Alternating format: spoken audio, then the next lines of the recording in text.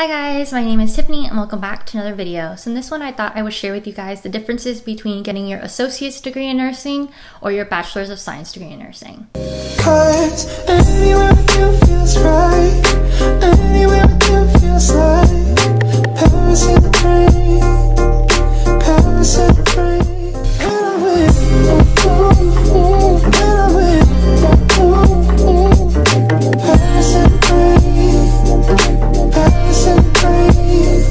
I've been getting a lot of DMs from you guys and a lot of comments asking the differences between getting your associate's degree in nursing, so your ADN, versus getting your bachelor's of science degree in nursing, which is your BSN.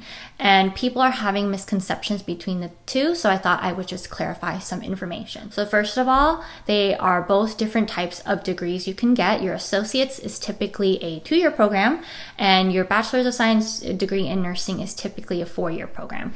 It can be longer. There are some programs that may take a little bit longer where you may be put on a waiting list and the competition is high, and so it may be harder for you to get some of your classes. So there are some programs out there that may be a little bit longer. So typically, BSN is usually four years to about six years, just depending on the school that you go to. There are some out there that may also have accelerated programs if you are having your second degree. So if you already graduated with a different degree and you want to go back to school and get your um, degree into nursing, a lot of people go into accelerated programs, which you can also apply for. But I'm only speaking on behalf of the BSN, which is what I have.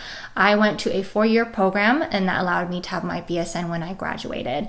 And people are having some misconceptions between the associates versus the bachelor's and you are still a nurse, a registered nurse in both cases. You take the NCLEX, and so the only difference is the program that you go into and the degree that you receive afterwards.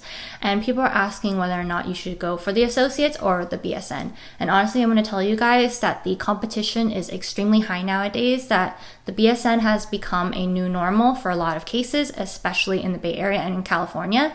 I'm speaking on behalf of the Bay Area. I don't think there's any hospitals out there anymore that hire new grads with their associates. So it's just something that you have to consider. And nowadays, when they're looking into applicants, they typically will go for someone that is more competitive. And if you have your BSN, then that's usually a requirement. And you're going to see when you look through applications that a lot of them require you to have your BSN.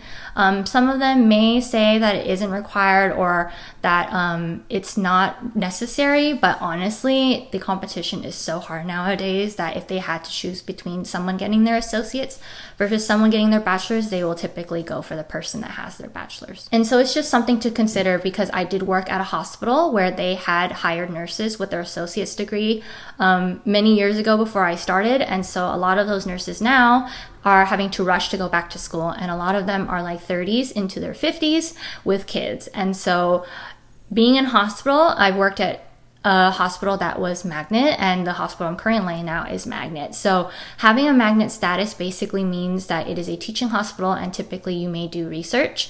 And so in order to maintain the magnet status, usually they'll have their staff fit the requirements that they need, and that being your BSN. So when I was working at my previous workplace, a lot of the associate's degree nurses had to go back to school and get their BSN, and they were rushing, and the requirement that they had was to get their BSN by 2022. So just something to consider. And if you do get your associates now, then you will possibly for sure definitely have to go back to school. So I just think you should just go straight into getting the BSN instead of, you know, trying to do curveballs around it. But every circumstance is different, everyone's situation is different, every state is different too, and the location you're at. So I'm only speaking on behalf of California and my own personal experience.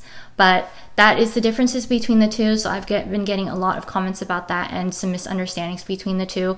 Um, honestly, I was talking to one of the nurses that is a part of the hiring program at my hospital currently, and she said that when she was hiring new grads or deciding to choose between applicants, she said that the higher the competition they were, the more likely they were going to be get getting an interview. So she even said that last year before COVID happened and they were hiring nurses for their new grad program, a lot of them, she said about 85 to 90% of them had their masters already. So that is the competition and is extremely crazy. And that makes me so nervous. And honestly, I am so glad I am not a new grad nowadays because the competition is so high.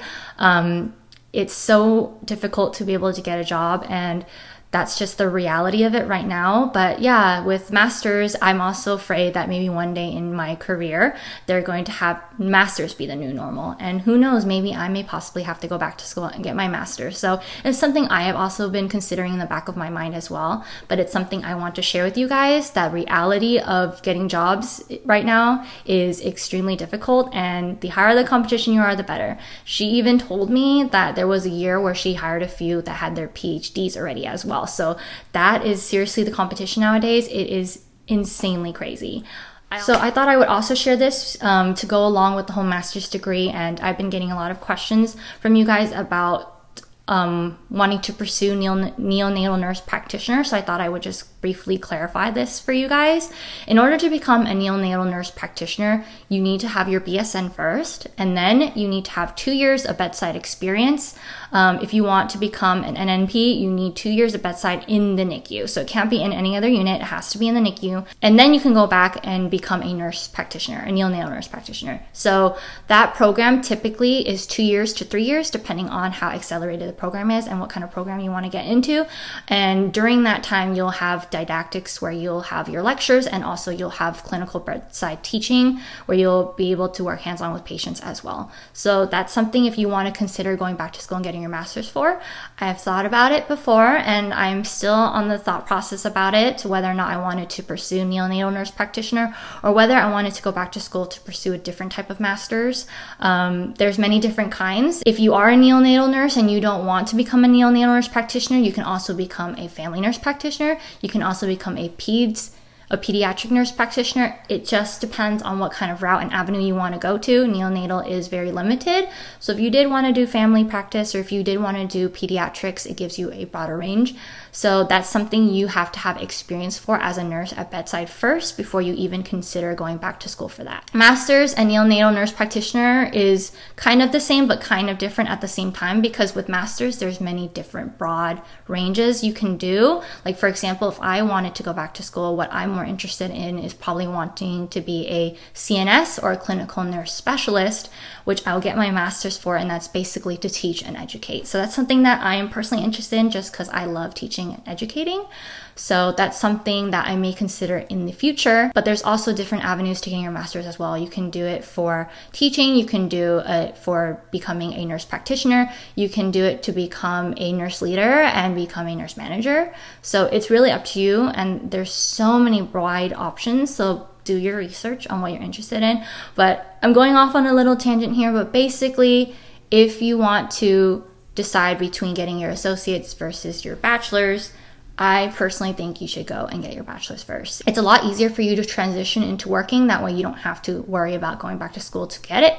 And also, it just depends on your circumstance. So, that's something that you need to think about and discuss with your family if you need to. So, I hope this video was helpful to you and that it explained the differences between getting your associate's bachelor's and maybe possibly in the future getting your master's.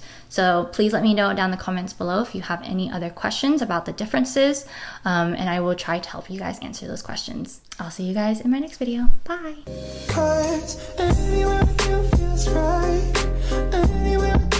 Paris in the rain, Paris in the rain.